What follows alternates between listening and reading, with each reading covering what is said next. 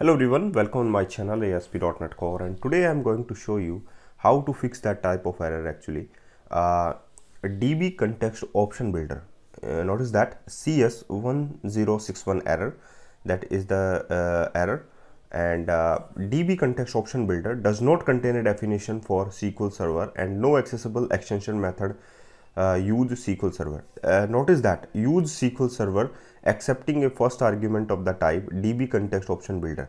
Okay, so uh, that use SQL server uh, connection string and uh, DB context option builder does not contain a definition for use SQL server. But notice that entity framework core have a use SQL server method. But when you press control dot key Control dot key does not show any namespace or any package reference for that. So how to resolve these types of problem? Uh, so how to resolve this that type of problem? Use SQL Server. So first of all, uh, there is the two method to resolve that type of problem. First of all, uh, you can use a NuGet package manager. Just right click on the package NuGet uh, manage NuGet package manager and browse SQL Server. Okay? So here we have a microsoft entity framework core.sql server. You have to install the compatible version uh, by using this interface. And directly you can open your uh, project edit uh, project file.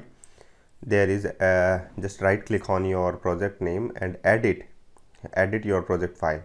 So you can see that type of file and add uh, that thing. Package reference include microsoft entity framework core.sql server and version is compatible with your .NET framework uh, project 3.1.3 okay? 3.1.1 also you have to mention it. Okay? So that type of problem you have to resolve like that. Okay? And you will go for uh, application user uh, okay start a file and your problem will be resolved easily. And you notice that and also you have to add uh, some uh, data in your uh, thing like entity framework core. Okay? Yeah that there is must to add. And after that uh, this you have to uh, remove the part. And you will notice that use SQL server again. But uh, and this time your control and dot key will work. There is okay?